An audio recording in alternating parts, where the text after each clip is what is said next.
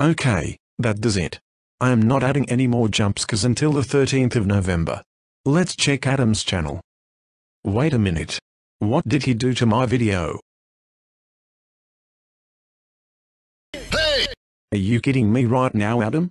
Why in the world did you steal my video? This proves you act like Polly Pocket yes Blair no. Also, I have the right to do call out videos, and I do not support 666 or Satan. I only support 999 and Jesus. Stop stealing my videos right now.